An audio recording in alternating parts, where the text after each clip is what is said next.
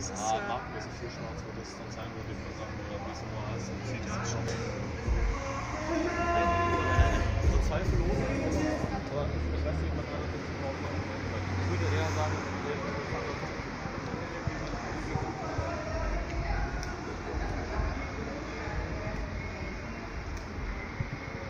das is that?